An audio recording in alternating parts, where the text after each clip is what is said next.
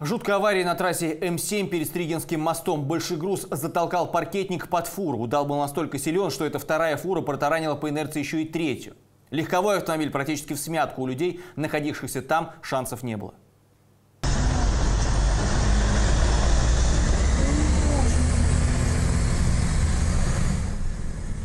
Она влетела, я так, меня самого чуть не придавил, видите? ж? Она влетела и все.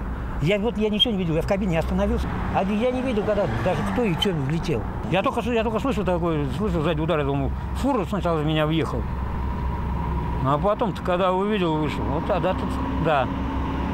Пробка только начала двигаться, я только приготовился двигаться.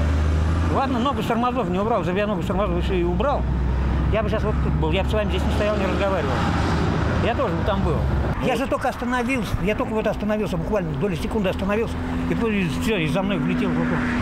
Получается, коллега не оттормозился. Сколько в машине э, людей Да находилось? ну никто не знает, вы же видите, да тут доставать надо сейчас. Одного видели, больше никто, никто не, не- не знает. Говорили, что семья ехала, ребят, которые проезжали.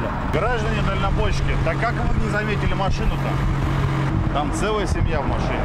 Я знаю, что, Что произошло? Почему? Что произошло, то произошло. Кто за рулем был? Вы или напарник ваш? Какая разница? Ну, Как так получилось? Да никак. Проб- Никак. пробка. Пробка и все. Что еще? Ну, без комментариев. Мужики, Ну, без комментариев. Три фуры. Ну, понятное дело, три кого? фу- Давайте будем как-то без комментариев, пожалуйста. Ну как так получилось? Все стоят. Ну вот, ну вот так вот, вот. Давайте без комментариев, все.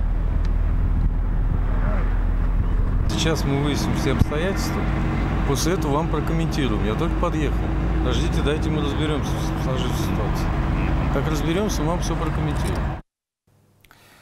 Кстати, по последней поступающей информации, в легковом автомобиле находились как минимум два человека. Операция пока по извлечению машины продолжается.